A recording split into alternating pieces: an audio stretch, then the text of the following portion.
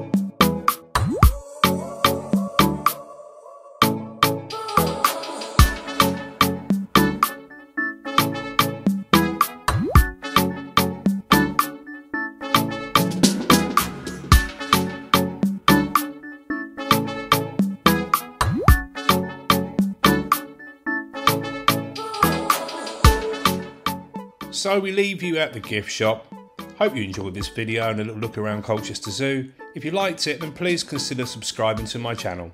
Thanks for watching.